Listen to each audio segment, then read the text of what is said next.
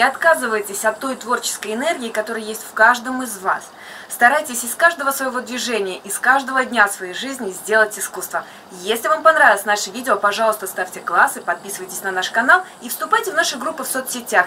И, как всегда, большое вам спасибо за то, что вы у нас есть.